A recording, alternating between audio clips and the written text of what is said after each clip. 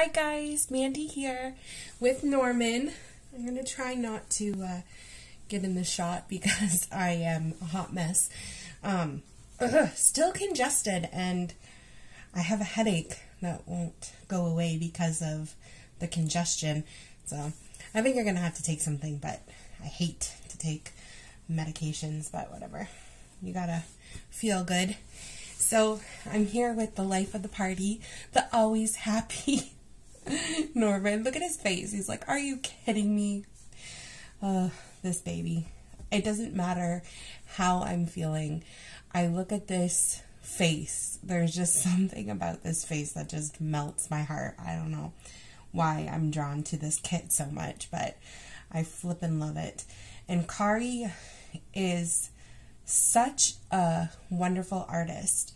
Um, you know, maybe not the most detail, but the way she blushes and everything, it's like the baby is alive and and the the face has moved and you know, she just blushes in all the right areas where you know, your hand would be like red and light. Like she's really good at bringing the babies to life. So I'm going to change Mr. Norman and um, excuse his um, tights um, because he was wearing jeans before. I was putting purple on him. It's very light, but I thought, you know what, just in case. When you can't see it, I, I pretty much always have tights on my babies. I really do. I got him the cutest outfit. Um, I'll show you what I got him. I just ordered this from Gap. Um, there's still a lot of good deals going on from Christmas. Now, I know that this outfit is Christmassy, but red you can wear anytime. It's not like it says Santa on it. And uh, Valentine's Day is coming up, and this sweater was like, I don't know, like 10 bucks. And they're normally like $23 for these Gap sweaters. So I was like, sweet. It was on sale, and then you got an extra percentage off. Um, and then this came from uh, Old Navy, which I've said this before. If you order from Gap online, you can also order from um, Old Navy and Banana Republic, all in the same. It goes in the same cart. You pay the same total, and then it ships to you all at once. Um, sorry, this says uh, here for the hugs. Got distracted, and I ordered him another pair. I had to order another pair of moccasins because the other ones I bought, I'm not sure if I ever even showed them. Um, they were Gap too. They were zero to three and his feet are just too big. I had to get three to six months for this guy. Can you believe it? Pardon me. I apologize. So yeah, had to get him the next size up, and they are a lit. Technically, they're a little big, but they go on really nicely, and uh, his feet won't be all crumped in, scrunched in, crumped. I don't know if that's a word. Um, so Beckett, I gave the other, I tried the other pair on Beckett last night actually, and they fit him. So I kind of borrowed them back from Emma because I'd let her have them. But she never puts shoes on her babies unless I let her um, take them to the park, which it's winter now, so that's not happening. But when we go, to the park she's always got. She's really good, actually. She's probably better than me at dressing her babies appropriately for the weather. She'll have little hats and boots and everything on it. She's a she's a good reborn mama. So never worry about the babies you don't see on my channel. She's taking good care of them. Trust me. So here you go, buddy. I still don't have a tripod, so I totally am using my selfie stick right now. And I'm on my bed, and the bedpost is like right behind you, and it's got it's an IKEA one. It's got slits in it, so I shoved myself myself. Blah, blah, blah, I shoved my selfie stick in there, and it's actually, knock on wood, working pretty good. Now I say that, it's going to topple over on me. But uh, I'm glad that worked. I totally know that it's Tuesday and I feel like it's Monday. I was about to post. I saw Scentsy and I have a Scentsy face group, and I was about to post like an inspirational Monday um, quote. I was getting all ready to look for a good one. I'm like, yeah, let's put something good. It's Monday. And then I was like, girl, it's Tuesday. Oh, poor Tristan. He's having such a hard time getting back into the swing of being in school because it's been two weeks off. Um, he was miserable this morning. So I just gave him his space and I was like to myself mentally, don't take anything he says personally right now. He's tired. He's crabby. Just let it go. So I did.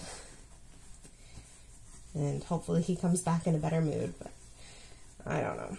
I hate winter. I hate winter. Like I know there's people who love winter because they they love being outside. They love there's people, you know, skiers and snowboarders and whatever. But I just hate winter. I hate the um the nights get are so dark and long and it's cold. Nobody really wants to be outside. Like my kids really do like to go tobogganing and stuff, but um we don't have anywhere nearby anymore because they built houses on the um, property that we used to toboggan on. So now we have to actually drive somewhere, which is a pain in the butt. But uh, hopefully this weekend won't be as cold as it has been, and we'll get to go tobogganing. Uh, sorry, why? Why is there? Oh well, what can you do? Anyways, this is super cute. I might uh, wash this shirt because it's just a hair too big. Um, but you know what? That's kind of cute, you know, because it's like they'll grow into it, even though we know they won't. I hope that I don't uh, snot on you. I hope my nose doesn't leak on you, Mr. McGill. He's like, yeah, better not. just his face. I don't know if it's just me. Maybe I'm a lunatic. Maybe it's because Tristan was so miserable.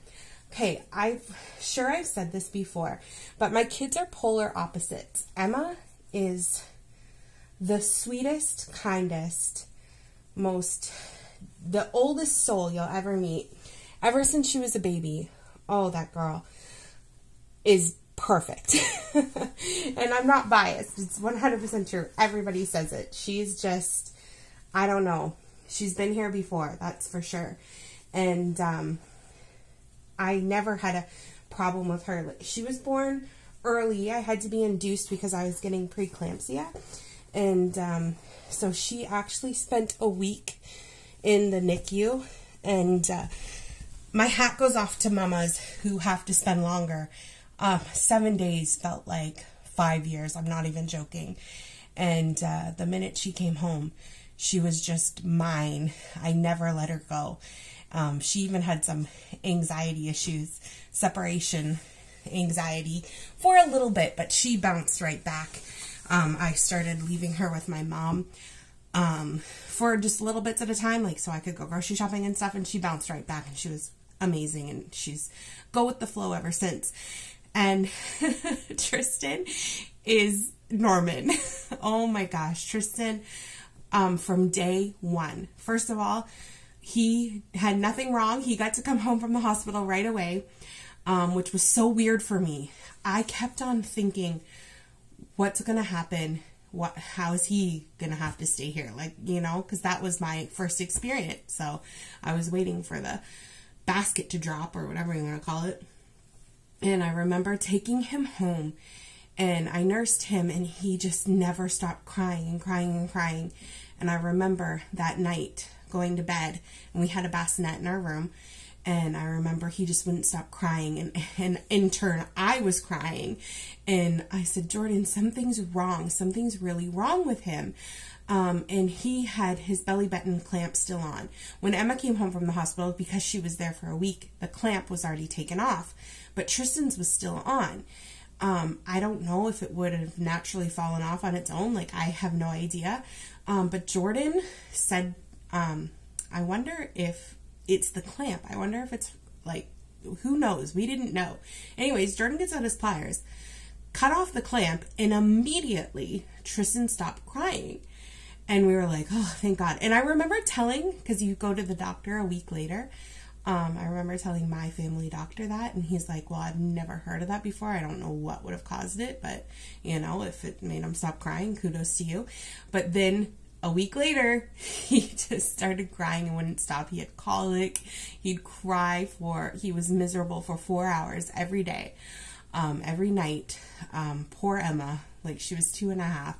I'd get her ready for bed and, and then I would be up with Tristan just, just screaming. He would just be screaming and he never stopped. He's got an attitude like you wouldn't believe. And he has given me more patience, tried my patience.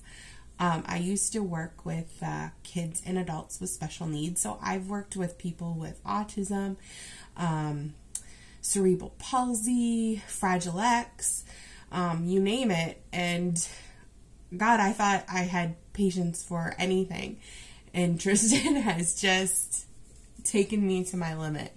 So every day is an adventure with him. You never know if he's going to be happy or miserable, and it's the littlest things that make him miserable. And you, ju- I just have to go with the flow. I just tell myself, you know, it's just the way it is.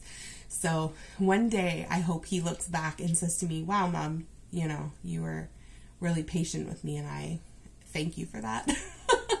one day that's gonna happen, right, Norman? Oh, this is the face I get from T all the time.